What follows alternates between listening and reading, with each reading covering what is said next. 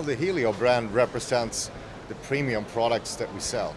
So rather than using a number, you know, like an MT67XX, we decided to, you know, give it some more life, give it a real name that people can associate with.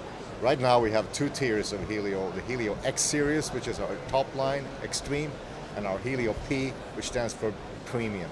So the name Helio is basically a, a spin-off of the Greek word that means, for Helios, that means sun. Sun is something that provides energy, you know, warmth and light to everybody on the planet. So for us, it's just a very good name, a very all-inclusive name uh, for a product line.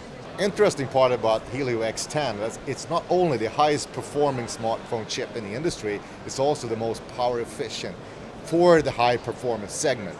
So we don't have the problem with overheating that other manufacturers have seen. It just runs really, really smooth, you know, highest performance, good power consumption, low power consumption.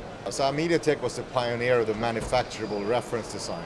So MediaTek basically shrunk the design times from maybe a year down to six months and now even down to four months in some cases. Super mid market is interesting because the super mid market really isn't a segment.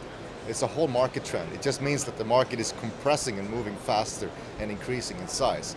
So inside the super mid market we have four segments the top two segments are covered by Helio, the premium and extreme. And what happens then over time that the high-end features are trickling down to the lower segment into mainstream and low-cost products very, very quickly.